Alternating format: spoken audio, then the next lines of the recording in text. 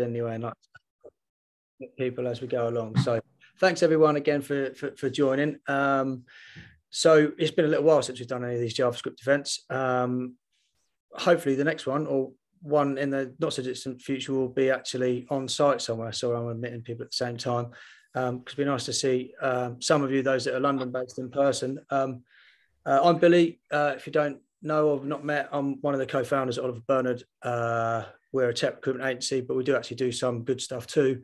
Um, mainly the events and the community-based uh, work that we do. JavaScript in London is one of um, 15 or 16 different um, events that we do, like Agile London and JVM in London and CodeHers in London. I'll put a link actually in the comments so you can have a look at it.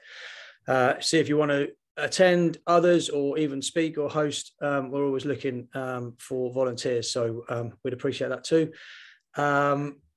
I'm not going to say too much. I'll uh, I'm going to pass you on to Alexander. Just thanks for uh, to Alexander for speaking. He's been at Zapp what eight times, I think said. Uh, one of senior software engineers thanks obviously for speaking and for hosting uh, for Nico at Zapp as well for help organising. Uh, sure, a few of you sounds like a few of you know Zapp. Um, they're on the buses, they're on train stations, pretty much everywhere in London, and it sounds like Amsterdam and Paris, I think you said as well. Um, so they're they're growing a lot, um, and Alexander's going to give us a bit of an overview of their system and some of the work that he's doing. I'll continue to admit people, and I will try and pass on to you Alexander. You can't share your screen at the moment, I assume. I cannot. Let me see where you are. More. I'll make you the host, and that should allow us to do that. There we go. My screen, and now I need to make you the host so you can let people in. Oh yeah, sorry, forgot about that. I'll mute myself as well. Uh, um, wasn't it there that we start at uh, 6.30 GMT? No, six o'clock. Six o'clock. If people join late because they might have thought it was late, uh, with Zapp, like I say, I'll send them the recording anyway. I'll say I'll, I'll, pop it across to you tomorrow to, to amend with if we need to. And then, like I say, if people join late, they can join. Well, yeah, I didn't really say in terms of the intro, but probably about half an hour in terms of the talk. Um, Q and A we'll do at the end. So if you've got any questions as we go along, uh, stick them in the comments maybe, or just save them to the end and then we'll do a, a Q&A for 10 or 15 minutes. So we'll only be about 45 minutes in all, I think. But sorry, I'll mute myself again now. all right, then let me start. Hello, everyone. Welcome to the talk. My name is Zal, and I'm the principal software engineer and software developers manager in Zapp. And no pun intended, Zal was my name long before Zapp, and it was spelled this way. Um, the name of the talk is uh, When the Rest is Gone, and I'm going to be talking about the uh, some best practices we have established in uh, Zapp with my help, and uh, the change of the paradigm of the client and server communication uh, that is actually happening right now. Uh, but first, let's make a recap on the ways server and clients have communicated in web since uh, the inception of web. Uh, some of you may remember uh, the early days of web when each page was loading uh, static HTML content from the backend. Remember those days? So every time you click, uh, click on any URL, the browser was going to the backend, and the backend was generating a uh, static HTML file uh, with the data embedded in it. So every uh, everything you see on the screen, like all the prices, all the names, they were already in the uh, in the HTML file when the data was sent um, over the wire. And clicking clicking any link, why can't I remove you? Yeah, clicking any link uh, resulted in a whole page reload. So it worked this way. The browser goes to the web server, which is usually running Apache. Apache is doing HTTP handling uh, and passes the uh, parameters, the query to the server-side uh, script, which is was usually PHP or Perl script. That script goes to the database, fetches the data, and generates the HTML page with the data inside and returns this page to the browser. This is how it used to work. Then uh, in about 2000, uh, Flash came out and I was the, one of the pioneers of Flash. My first job was a Flash developer and animator. Then a few, a few years after, Flex uh, appeared. And what has changed at that uh, time, they allowed separation between uh, application code and uh, data. And one of the pioneers was this 2Advanced Studio. I was so fascinated about uh, their website because it looked like this when others' website looked like this. I just want to show you, it doesn't really have anything to do with the talk, but check it out. 2003.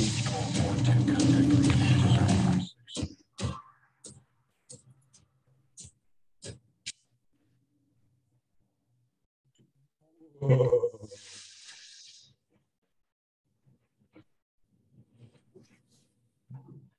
everything is moving and all of these parts were um, loaded separately in a separate um, request to the server and, and the data was encoded in the JSON. That's, enough.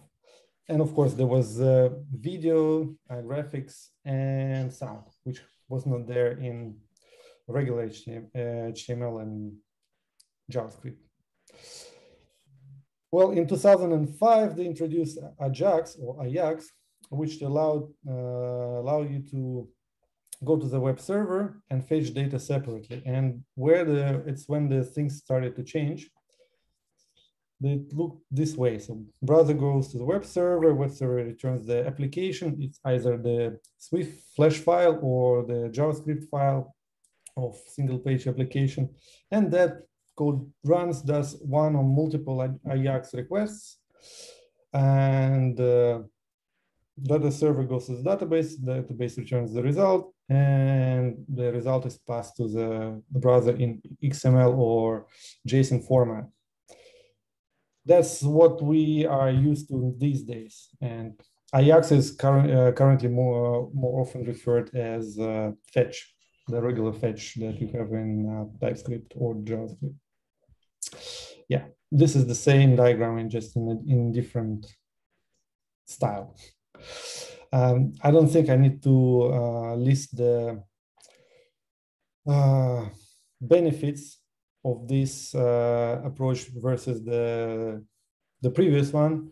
The main benefit is that uh, was that now the backend development cycle and the front-end development cycle were completely uh, separated and backend developers didn't have to know about anything about css and backend and front-end developers didn't have to know about backend and so on and so forth. And of course there was less data requests because the data persisted on the client even between the page changes so lots of benefits. But I know we now first talk about the two ways the data is fetched these days, the two main ways, and the, the difference between them, the REST and GraphQL. And I think the, the pictures illustrate quite well what the difference is. The REST, uh, you go and fetch yourself what you need. And with GraphQL, you kind of tell GraphQL what you need, and in one request, it returns you uh, everything. Uh, the difference is that REST is simpler. It's simpler in terms of uh, using and uh, writing, and GraphQL is more complex. We won't talk, uh, we won't go into details. I just want to set the stage for you. Um, things change a little bit when you need the server to client communication. Uh, two main ways to get updates on the client is to do polling, either long polling or short polling. Uh, just do request every n seconds or minutes uh, for the new data and the regular REST API can be used for that. Or you have to have a WebSocket server. And WebSocket is a technology that allows you, once the communication is established and communi um, the communication is uh, initiated by the client, the server and the client can send uh, messages back and forth. And this is how it works. So again, the browser goes to the web server, gets an application, then it goes to the API server, API goes to the database, returns the uh, JSON.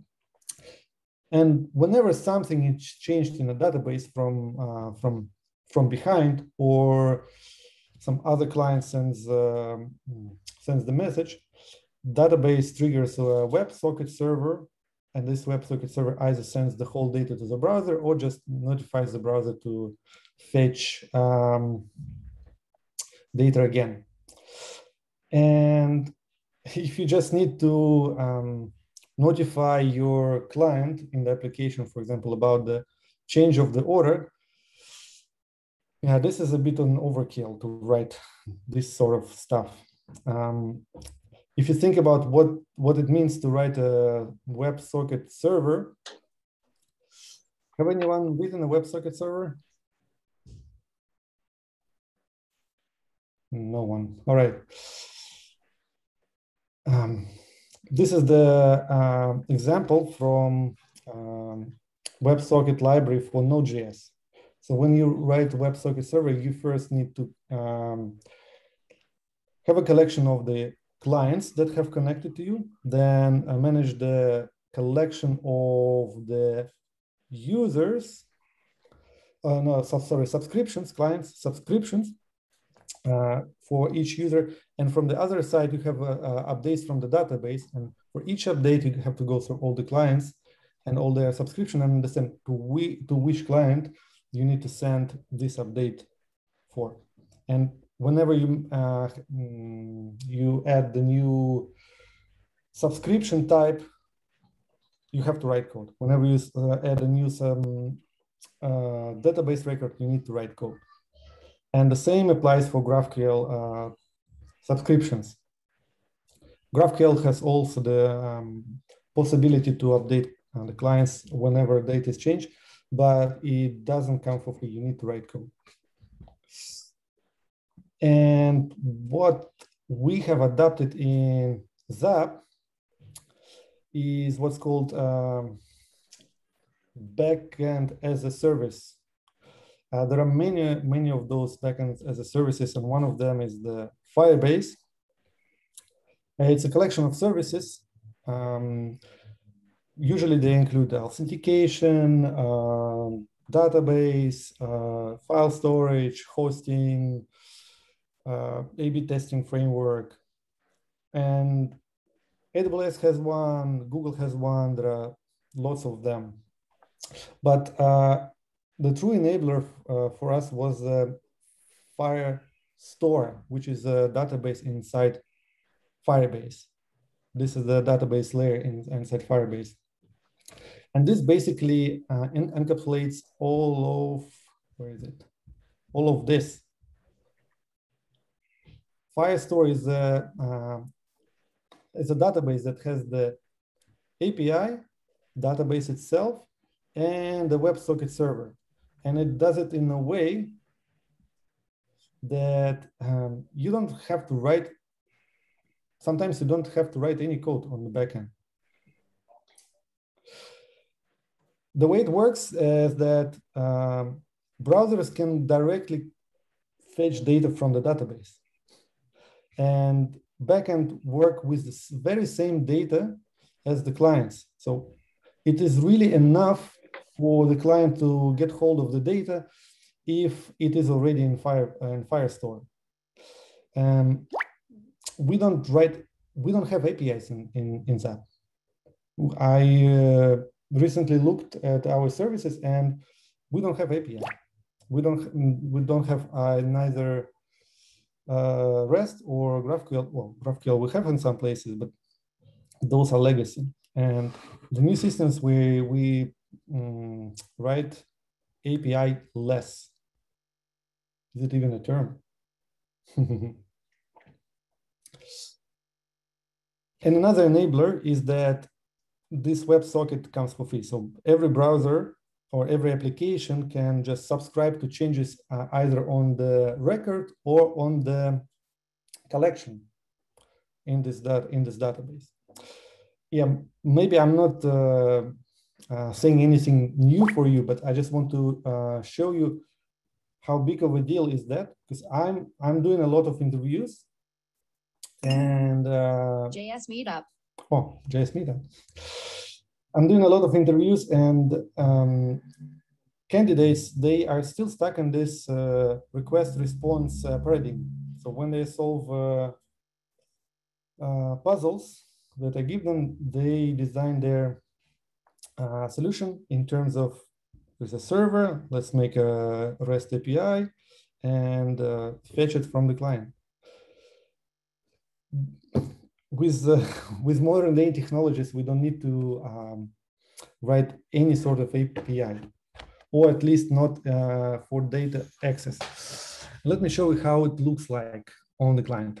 So this is how you get uh, an order, for example. That's this is the client side code for Firestore, and this set this set order is the yeah, um, React React hook for, for the state, use state.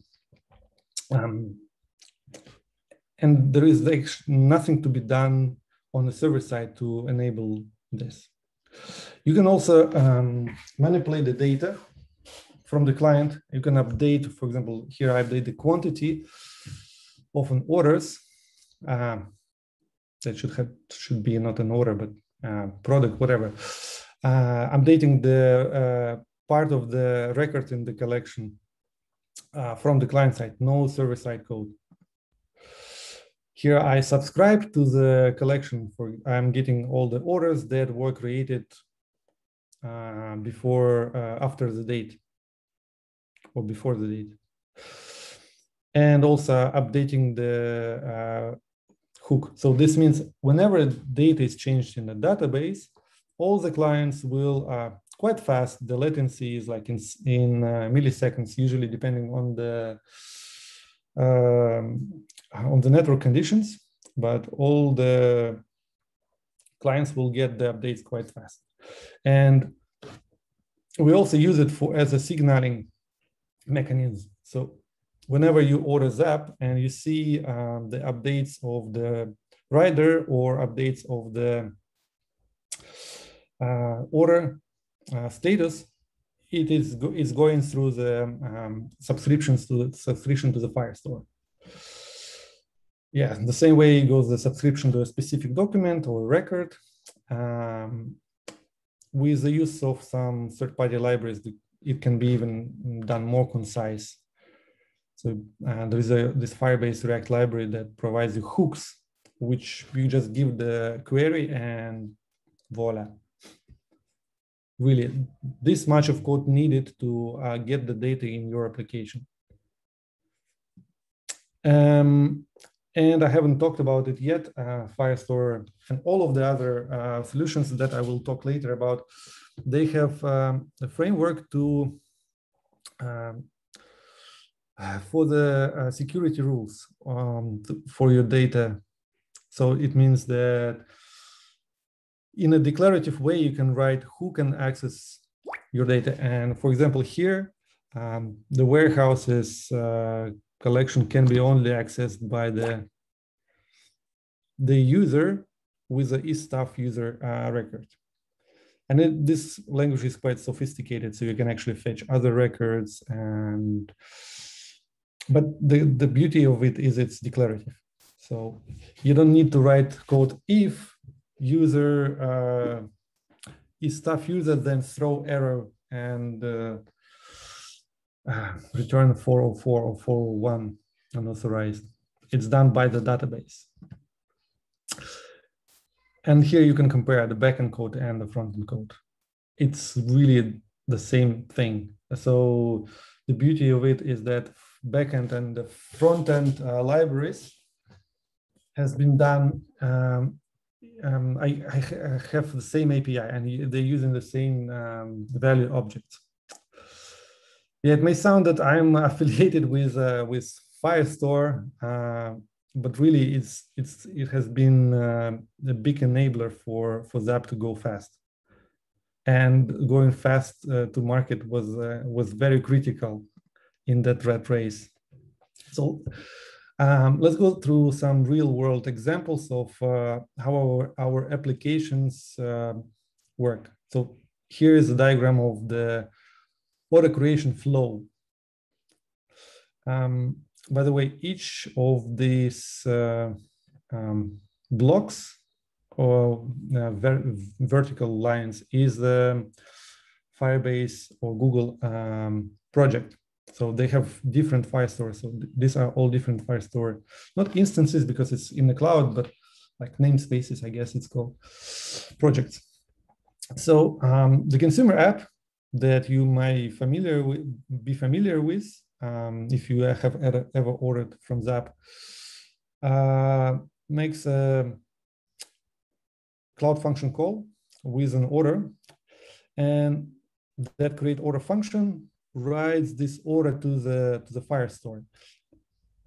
And the consumer app gets the uh, is subscribing to this uh, entity in the Firestore and just uh, gets updates from it. And it gets the ID uh, from uh, from uh, the request from this function. So order comes here, backwards goes the ID, then consumer app subscribes to this ID in the Firestore. And whenever any updates uh, come in here, they, um, they appear in the app.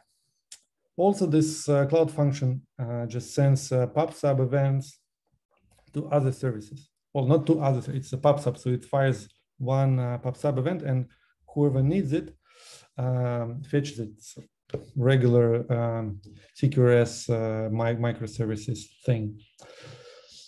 Uh, but instead of microservices, there are uh, cloud functions. So one cloud functions in the picker app. The picker is the person who uh, collects the products in the back in the stores. Uh, another created function receives the PubSub message, just writes it in the Firestore and the picker app who has been uh, subscribed to the orders collection in its own uh, Firestore uh, gets an update. Okay, the new order. So the order needs to be picked. And the record is also created for the driver. driver doesn't act on it at the moment. Why? Why, why did it jump? Okay, this one. Uh, here, let's say the picker uh, have collected the, the order. So what the picker does, it doesn't call any cloud function. It only mutates the uh, picked state in the database, in its own database. And this triggers um, a handler. Uh, it's a cloud function. Yeah, okay, the, the, there is a cloud function that uh, is triggered, which sends PubSub, PubSub events to uh, whoever is interested about this picked changed event. And one of them would be a driver app. And this cloud function on order picked is mutating the state of its own copy of the order with the picked flag. And this means the driver can start uh, delivering. And uh, the similar uh, process goes to the, uh, happens in the consumer, consumer backend.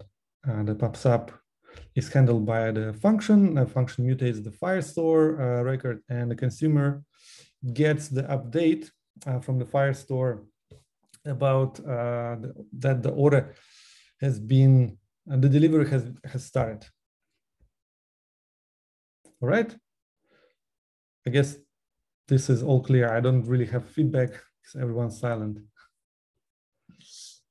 Ah, I, I switched them. Um, right let's go here. So to, to recap, to emphasize, uh, there was very little API written only the, the business logic to send uh, send events and uh, store um, data in the database as a result of this event. So we didn't have any uh, API for data access from the our applications. And applications are notified about uh, change of the data without also writing any any code. It's it's it's provided.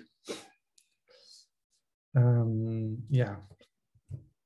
For example, in in our uh, picker app, the picker can only access uh, orders from its own warehouses. So we uh, we check that in these uh, rules that I uh, talked before, we restrict access to uh, orders from a different warehouse. So this is also handled all handled by um, Firestore without us writing any executable code. It's all in a declarative way written in just one file.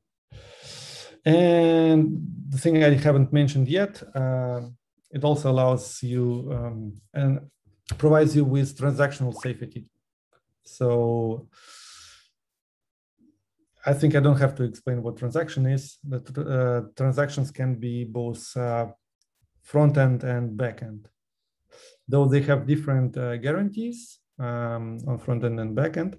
But we would not go into details um, for uh, for regular cases, they work the same way, same API, and it's really uh, often hard to tell whether you are on the back end or on the front end. Um, few things you need to have in mind when you uh, transition to database as a as an API approach.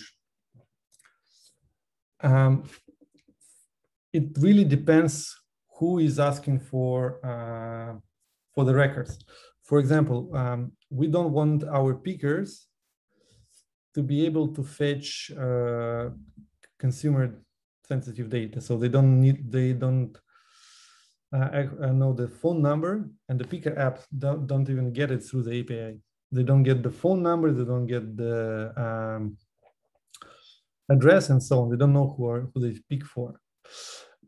And we have customer support who um, have to access to such data. And thus, uh, we have to have two different records that represent the same, uh, the same entity. One is for the picker, one is for the customer support, another one for the rider. This is a bit um, of a mind twist when, uh, when you do um, design data database for um, for this sort of backend as a service uh, applications. Another one, uh, my mind twist uh, doesn't only apply for Firestore or backend as a service. It's a generic problem uh, for key value stores. The data has to be denormalized. And denormalized means um, you have to store everything in one in one place. In case of an order, for example, uh, the product title, the product uh, image, thumbnail um, have to be stored in the order record. So you cannot do joins um, with Firestore. And this uh, means uh, data duplication. So this image URL uh, can be scattered across uh, many different records. Unlike in SQL, you would just join many many tables and uh, output it in the GraphQL fashion. Doesn't work. Doesn't fly with Firestore. Yeah. Um, but you still have to apply rest rest like thinking. It just the mind twist here is that instead of uh, presenting the data in a REST like format, you have to store the data in a REST like format. So REST is not really that, it's just uh, transitioned to, uh, not, not gone, sorry, it was the name of the talk. Uh, it has transitioned to the um, data persistence uh, level. And by the way, Firestore and all the others also provide you with the REST-like API. So if you're running the, if your application runs somewhere where the um, uh, library is not supported, you can just use plain uh, REST API to these records. And, and it would also apply the um, data access, data access rules. Right. Yeah, as I said, there are several several uh, providers, and uh, all of big uh, cloud providers has its own backend as a service solution, which in turn in um, inside of it has uh, something similar to Firestore. So Firebase has a Firestore, AWS Amplify has something. I don't know what's name. I think it's just called database. Supabase uh, has its own solution, and all of them have very similar API. All of them uh, provide uh, subscriptions uh, capabilities. All of them provide REST-like uh, API. It just uh, Amplify and Supabase, they use Postgres under the hood. So maybe their join queries are possible. I don't really know. There must be some limitations on uh, on the performance of that. So you might might not be able to do subscriptions to join queries. If you know, please uh, share your knowledge with me. If you have you ever used Amplify and Supabase, And that's actually the last slide of my talk. And I would love to hear some questions.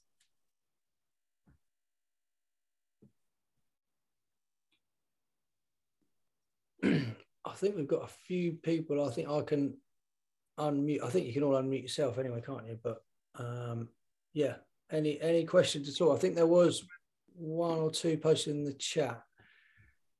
I think Jody mentioned a question in the chat. I don't know if you can see that, Alexander. Uh, how do I get to the chat? I'm not used to the. Uh, down, here. down at the bottom. Fancy. Yup. Clemens said, okay. Uh, presumably, it, only needs to be denormalized in Firebase. Your database can still be relational. Yeah, uh, it is true. So um, behind uh, your Firestore, you there you can you can use any other database, but um, you, there can be a relational database but you would have to um, also have a copy of uh, your data denormalized presented in Firestore. So far, we have thought of this solution, but so far um, the capabilities of Firestore were just enough to have uh, all the data just in Firestore. So we didn't bother having um, uh, Postgres or anything MySQL. Okay. How about latency um, latency. Latency is good, though it's not super reliable. With mobile network, uh, the updates can uh, can go for several seconds, or sometimes up to tens of seconds. But like um, 95th percentile is uh, within a second. I would say, from my experience. pricing. Um, so if you don't store gigabytes of data and we are only uh, using uh, Firestore to store the current data, so only current uh, orders that are being processed uh, is of interest to us. And once the order is complete, it has it's never um, it is never accessed anymore. So we don't yet have, but um, in future we would just wipe all the order, uh, all the old orders, and uh, we'll have a purgatory for the old orders somewhere in probably relational database or in uh, um, BI uh, data lake. So the, the pricing uh, is not really a concern if you are not uh, doing some sort of like chat applications when every record because in Firestore you you pay for every uh, read and write for the record, and uh, when something uh, some subscription gets an update, it's one one read and one write, of course, or, multiple reads. But Firestore hasn't been our main uh, uh, source, or not source, um, main price, main cost. The main cost is actually uh, Google Maps API. It is crazy expensive. Uh, how do we debug problems? Um, I add console logs. I write tests and uh, do console log. Sorry, I I couldn't figure out how to use the debugger, and I just do console logging.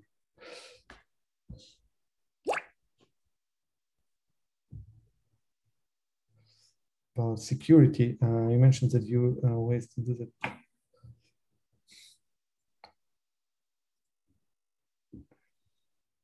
All right, yes, I didn't talk about it. So to enable security, uh, this every uh, backend as a service solution provides also authentication layer. So you are authenticated also through this uh, framework and uh, Firestore is, into, is integrated into Firebase authentication framework. So whenever user is coming to um,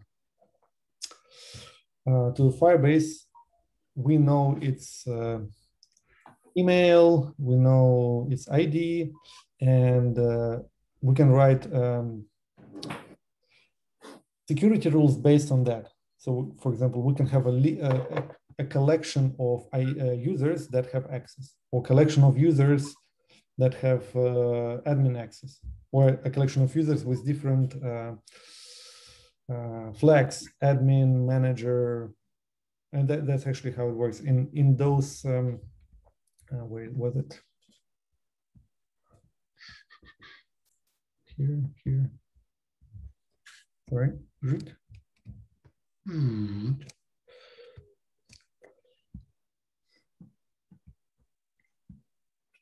Here just uh, parse I didn't include include this parse function um, but it basically gets the all the properties of this user and returns returns them as a user. Um, the user is just another record in the database. You can combine these uh, records and identify whether this specific user has access to this particular record. And it's per, uh, you can identify security per collection or per record, but we cannot go deeper on the attribute level, which is fine.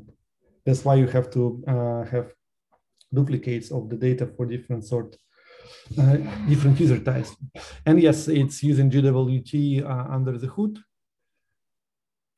The possible authentication methods are endless. I mean, Firebase supports its own authentication. It supports phone authentication, email authentication, password authentication, Facebook, and any OAuth server.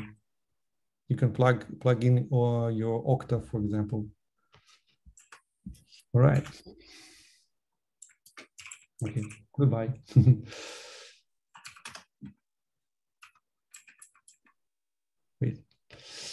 But uh, yeah, there's just one more Jody, although she's had to go. But yeah, I'm trying to understand the question. But I was wondering if you had multiple APIs that browsers are talking to separately, or if you are combining them all in Firebase. Yeah, so uh, every our application has its own backend, so it's its own Firestore or Google uh, project, and it has its own Firebase, it's its own set of cloud functions. And each application has its own copy of the data. So means the object, uh, the order object is uh, duplicated many times across applications, but in, a, in every application, only the necessary fields are stored. So the consumer app uh, object order contains information about the delivery address and uh, what has been ordered. But the copy of that in um, driver's app doesn't have a list of items. Driver doesn't have to know about what what is delivering. It, I think it only have the uh, weight of the whole package, rough eight, uh, weight. Um, that's it. So answering your question, uh, the application is talking to one backend and this backend is sending messages to other backends and those are updating uh, their own firebases. And this is what i am describing here. So actually the main question uh, when you do um, design system or application with firebase is whether to use a cloud function or to uh, mutate the data directly in the database. And so far, I have not um, found an answer for that. Uh, usually, we are just, for data mutations, we're calling cloud functions.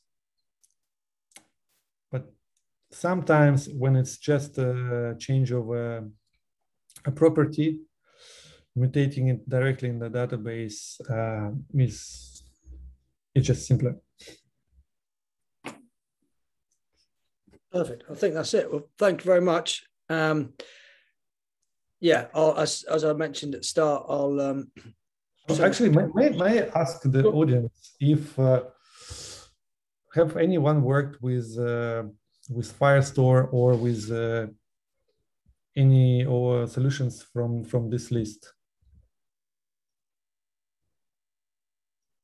Looks like no, or don't you don't have the microphones or what? I'm not sure. I mean, they. Uh, used Firebase and Firestore a few years ago. Yeah. Not but gave up on it. Give it another try. Um, as, i as I was saying, it has been a huge enabler for us, and we are not thinking of in terms of APIs anymore. We are just thinking in terms of uh, business logic and uh, data uh, data structures. This whole thing of uh, client to server communication is just we don't care about. It. We don't we don't do it. We only write backend logic and front end logic, and communication layer is magic.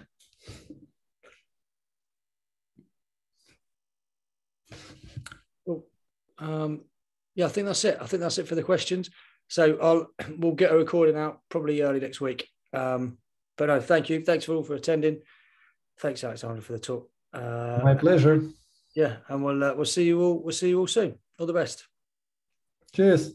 Take care, everyone.